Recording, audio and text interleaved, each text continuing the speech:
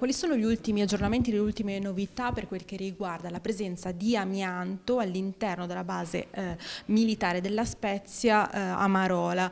Se ne è parlato per, per lungo tempo, i cittadini chiedevano delle risposte e delle risposte sono arrivate da Roma. Sì, eh, le risposte sono arrivate. Vabbè, la presenza di amianto è indubbia, sicuramente sono coperture in amianto, quello si sapeva. Era un po' da valutare la consistenza di queste strutture, perché un amianto che non, non è ancora diciamo, friabile, quindi compatto, non rappresenta un problema.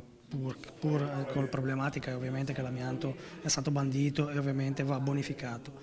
Eh, la novità è che eh, dopo le interrogazioni fatte subito dopo quella, quel meteo avverso che, che, riuscì anche a sradicare alcuni pannelli, eh, ovviamente siamo riusciti a ragionare e fare capire diciamo, al Ministero la problematica in essere.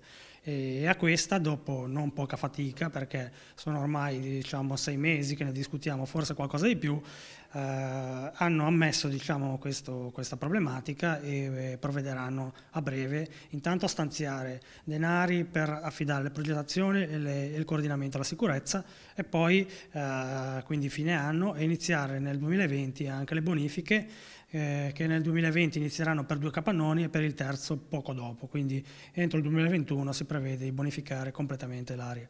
Si parla di 600 mila euro per, questo, per, questi primi tre interventi, però ci sono sicuramente delle altre aree, degli altri edifici che meritano attenzione in questo senso.